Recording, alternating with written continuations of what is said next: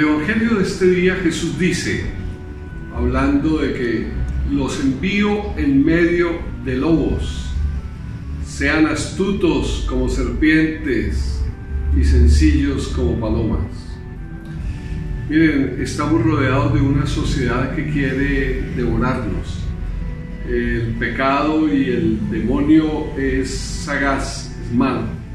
Un día Jesús dijo, son más sagaces los hijos de las tinieblas que los hijos de la luz. Y hoy nos está invitando a ser sagaces.